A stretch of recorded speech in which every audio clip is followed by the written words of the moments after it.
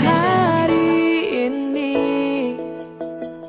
adalah harimu dan aku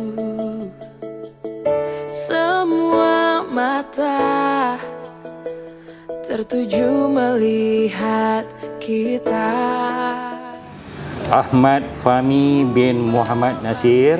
Saya Saya nikahkan kamu dengan anak saya Amirah Nabilah binti Roslan dengan mas kahwin sebanyak RM100 tunai. saya terima nikah Amirah Nabilah binti Roslan dengan mas kahwin sebanyak RM100 tunai. Ku terima cinta darimu Ku janji